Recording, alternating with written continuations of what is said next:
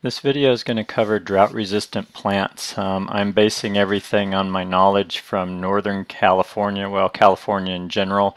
We have very low humidity here and as a result under 20% most of the year and then we go six to eight months with no rain uh, between April and October typically. So native species to California and other areas around the world like that, South Africa, Australia, New Zealand, um, are a lot of these plants that you're seeing here. And one of the key things to think about when you're deciding to use these is that they normally have adapted to situations where they are lacking water for many months out of the year. And then either they have a rainy season or they just have infrequent watering. The biggest mistake homeowners make is they treat them like any other garden plant and they give them regular water um, all year long and they some plants tolerate that fine by the way um, but others don't and you, you just want to be aware of that. If you're if you're watering something on a regular basis and it's starting to look like it's having a problem, probably your first clue is this isn't what it was used to or how it what it adapted to and it's reacting to that.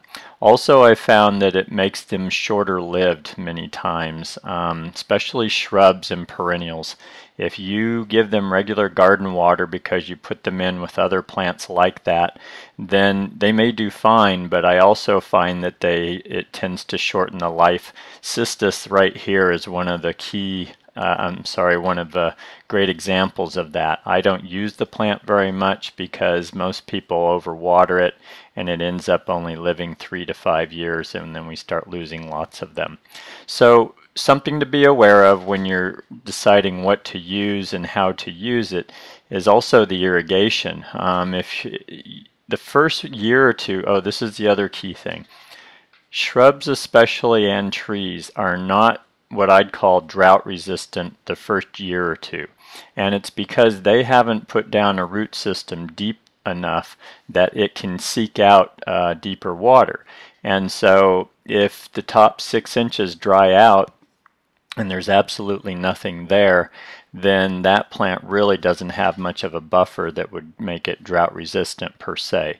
So that's something to consider too is don't start holding back the water when your when your plant is what I call the puppy stage. It's still growing and it's trying to you know get a get used to whatever it's going to have, but it's also got to get roots down so that it has access to what's going to make it drought tolerant in the end.